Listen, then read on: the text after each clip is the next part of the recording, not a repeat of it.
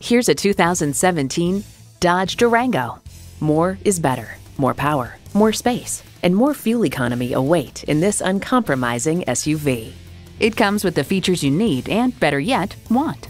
Automatic transmission, heated and ventilated leather bucket seats, integrated navigation system, rear parking sensors, dual zone climate control, memory exterior door mirror settings, streaming audio, power sliding and tilting sunroof, memory steering wheel settings, and V8 engine. Dodge doesn't do middle of the road, leave average in the dust.